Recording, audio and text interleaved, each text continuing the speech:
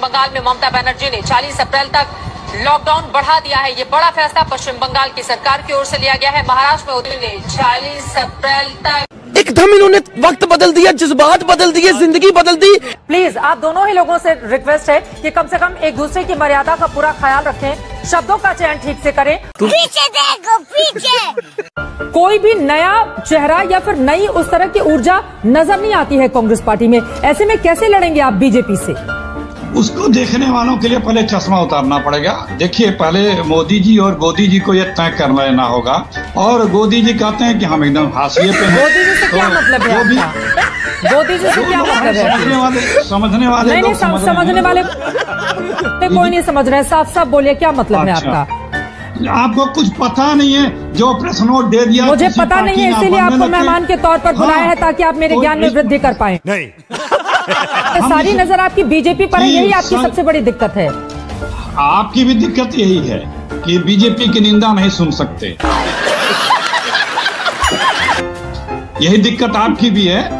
निंदा लोकतंत्र है निंदाएँ सबकी होती रहती हमारी भी होती हैं हम सुनने को तैयार हैं। बात दरअसल में ये है कि अभी आप मध्य प्रदेश और कर्नाटक गिना रहे थे वहाँ लूट करके सरकारें नहीं बनाई गई हैं। क्या अखिलेश जी। रात को तीन बजे कौन होती है क्या चित्रा जी? क्या चित्रा जी? राम मोदी जी। हम राजनीतिक दल हैं हम सत्ता के लिए ईमान धर्म नहीं बेचते हैं। लेकिन तीन सीटें पाई है। आपको गाना है?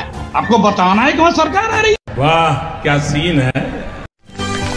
मालिक वो देखो वो देखो। मेरा सा सवाल ये है ये महिलाएँ जो मुस्लिम समुदाय से ताल्लुक रखती हैं जरा इनके बारे में भी सोचिए। अगर उनको न्याय मिला है तो मैं चाहूँगी इनके बारे में भी तो दो बोल बोले ओवैसी साहब हर मुद्दे पर बेबाक आप राय रखते हैं। मोदी सरकार को घेरते हैं सबके ऊपर कड़ी टिप्पणी करते हैं। लेकिन आज अगर खुशी का मौका है तो वो खुशी दिखनी भी तो चाहिए। बिल्कुल बिल्कुल बिल्कुल बिल, बिल, बिल्कुल। क्या करूँ मैं? खुशी दिखाने के लिए। बताइए क्या है आपके पास खुशी का पैमाना? क्या है? क्या मुझे अब देशभक्ति खुशी सब आप लोगों से सीखना पड़ेगा? नहीं सर। आप बताइए आप वज़ीर आज़म से पूछिए कि उनकी बीवी उनके घर में क्यों नहीं रह रही है? उस उस औरत का हक का क्या होगा? अब आप देखिए अब आपके चेहरे का रंग कितना बदल जाता है।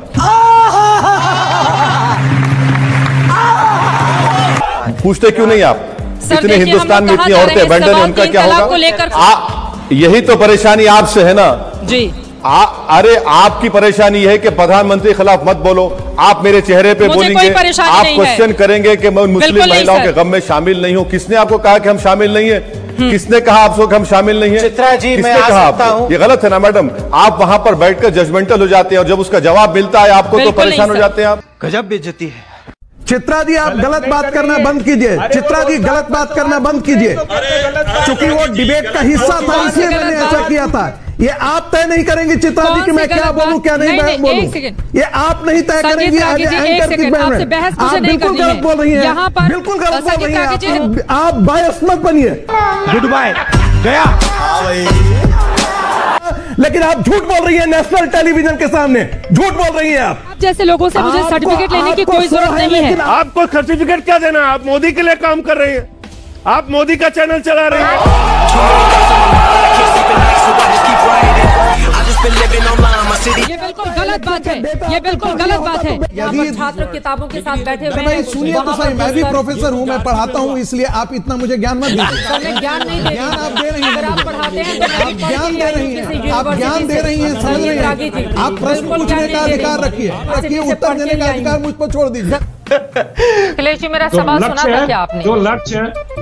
उसी का जवाब दे रहा हूँ सुना था तभी जवाब दे रहा हूँ और जो दिन पूरे शुरू हो गए प्रदेश- आप लोग पूरे देश को टारगेट करना। मोदी जी शुरू से मुद्दे लेकर- पर बात कीजिए मुद्दे पर बात कीजिए करो मोदी जी को मुद्दे ही बात कर रहा हूँ। ढंग से बात कीजिए अखिलेश प्रताप सिंह जवाब दीजिए भागिए नहीं जवाब दीजिए। हूँ। मोदी जी मोदी से कहिए झूठ बोलना बंद कर दें सुबह शाम जो झूठ जवाब आते हैं उसे झूठ ही बोलते हैं। संगीत। तेजस्वी लोग हैं हमारे पास। कितने शानदार विचार रखते हैं। ये बिल्कुल गलत बात है। ये बिल्कुल गलत बात है। ज़रूरत ज़्यादा है बजाय इसकी कि बीजेपी क्या कर रही है। बीजेपी तो जो कर रही है उसको वोट भी मिल रहे हैं। आप अपना मैं देखिए ना सर।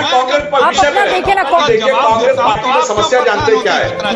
बीजेपी के झूठे आरोपों का मैं जवाब दूँ तो आप क्यों विचलित होते नहीं नहीं। इन छोटे मोटे प्रोग्रामों से कितना कमा लेते हो? Yes my son. उधर उधर। क्या भैंसड़ी क्या उधर क्या? ऐसी क्या चीज़ है जो बच्चों को डरा रही है? हमें शेर को डरा के दिखा। कब हो रहे हैं क्योंकि यहाँ पर टेस्टिंग किट नहीं है? राजस्थान को पूरा मुहैया करा दिया। तो फिर तो उसके लिए भी आपको केंद्र को श्रेय देना चाहिए क्योंकि किट तो यहीं से मिल रही है। बहुत स्पष्ट कहा मैंने। आप चित्रा जी बड़ी स्मार्ट हैं लेकिन इतनी स्मार्ट नहीं है कि अपने शब्द मेरे मुँह में रखें।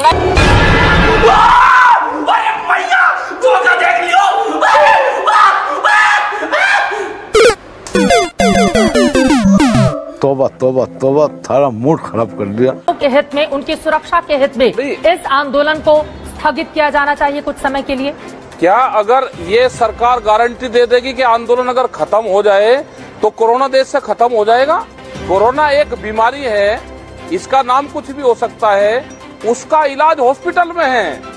भारत सरकार कर क्या रही है पिछले एक साल से? कोरोना काल में वो कानून लेकर आ सकती है, अब उस पर कोई और एलिगेशन नहीं लगा तो अब ये एलिगेशन लगा दो कि किसान किसान कोरोना फैला रहे हैं। क्या जो बीजेपी के मंत्री एक्सपायर हुए वो कांग्रेस इसमें आंदोलन में शामिल थे। आपके पत्रकार एक्सपायर हो रहे वे आंदोलन में शामिल थे हमारे। या इतने लोग मारे जा रहे हैं, वे आंदोलन में शामिल है। एक बीमारी है, उसका इलाज तलाश करना चाहिए, हॉस्पिटल बनने चाहिए। हॉस्पिटलों की हालात क्या है आज गाँवों में? स्वास्थ्य की तरफ़ आप किसी ने वोट मांगा है देश में? देश में वोट किस नाम पर मांगा जा रहा है? स्वास्थ्य पर कौन ध्यान देगा सरकार? आज अगर आंदोलन चल रहा है तो इस पे ध्यान आगे पर्चे निकाल निकाल के है सारे बीजेपी वाले।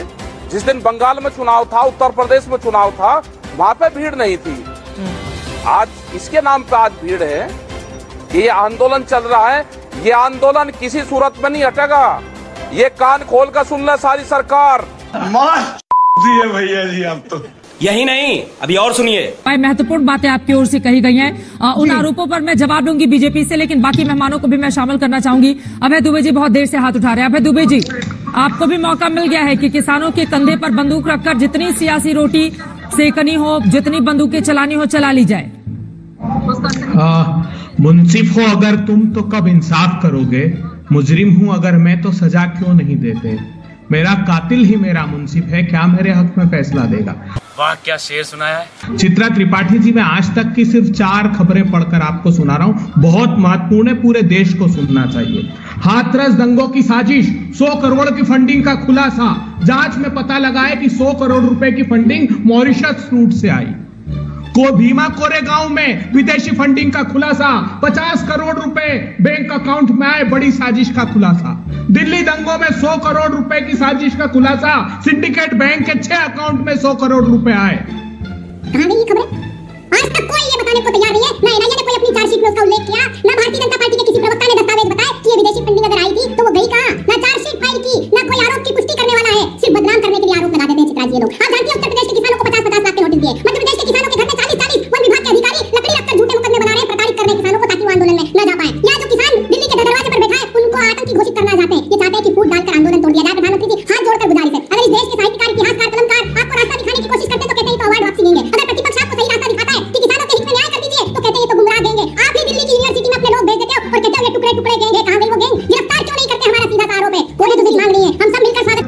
आपका किसानों की मांगे मान लीजिए। एक तो आजीविका की लड़ाई जिन खबरों के साथ आप आए थे यकीनन वो खबरें पुख्ता एजेंसियों से ही मिलती हैं। यकीनन वो खबरें पुख्ता एजेंसियों से ही मिलती हैं। तो शांति से जरा थोड़ी देर बैठिए और सोचिए। अगर हम करें तो करें क्या बोले तो बोले क्या तो रहन दो फिर।